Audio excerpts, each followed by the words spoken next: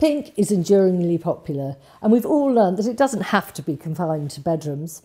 This is the lightest and most delicate of our pinks, and it's named after the charming colour of the tailor tack, so often used in haute couture ateliers. So it certainly has a delicate feel to it, but has enough colour to never be confused with white.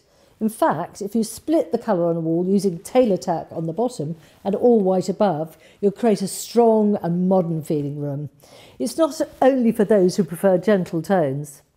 But tailor tack itself can also be used on the ceiling of rooms that have strong coloured walls like copperhead or wine dark, just for a fun twist. There's nothing better than having this colour to look at while lying in bed.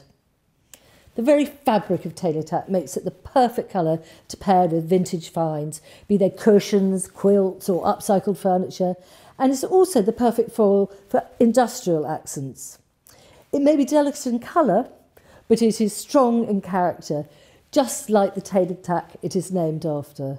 And wow, does it look spectacular here.